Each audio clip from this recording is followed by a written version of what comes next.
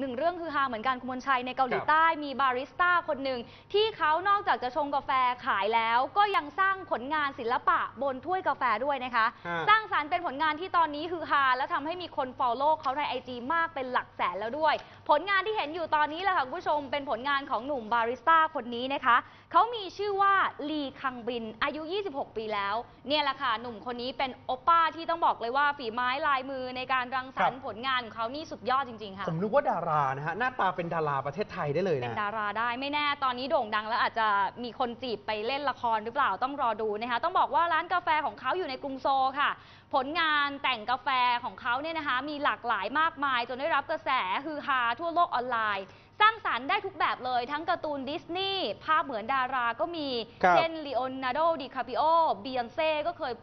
ทำมาแล้วนะคะ ภาพงานศิลปะ masterpiece ของศิลปินชื่อดังก็มีทั้งของแวนโก๊ะปิกัสโซ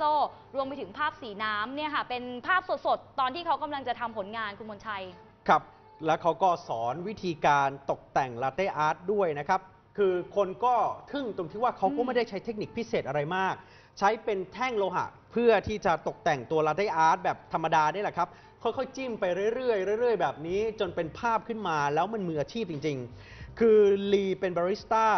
มา 10 ปีแล้วนะครับ ค่ะ ก็ทำตั้งแต่ยังเรียนมัธยมอยู่เลย เขาก็น่าทึ่งตรงที่ว่าไม่เคยมีพื้นฐานการวาดรูปมาก่อน เขาเรียกศิลปะบนแก้วกาแฟของตัวเองว่า cream art ครับ แล้วก็อยากจะให้คนทั่วโลกรู้จักกับ cream art มากกว่านี้ เปิดเวิร์กช็อปสอนด้วยนะครับ อืมนี่ดูภาพนะครับ ไม่น่าเชื่อว่าแก้วกาแฟหนึ่งแก้วทำอะไรได้เยอะขนาดนี้ ใช่ลองติดตามสุดยอดครับ ค่ะ